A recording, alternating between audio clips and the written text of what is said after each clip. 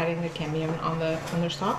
Now I'm gonna make the same cut on the graft, and I'm gonna match the cambiums on the on the graft to the one on the understock.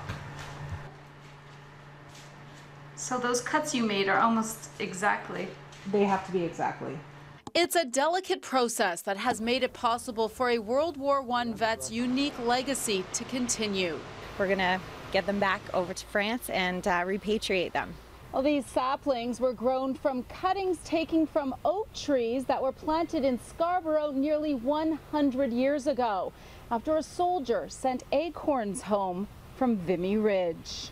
Diary says completely destroyed by shell fire.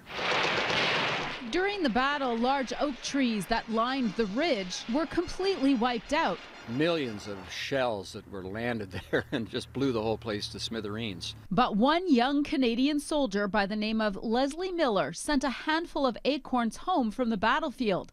With instructions, grow these things, and if I don't come back, you've got a memory of me. Now, thanks to an idea and the Vimy Foundation, those trees will live on. So it's a whole legacy uh, project.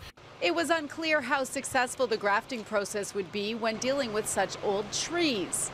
But they've had overwhelmingly positive results.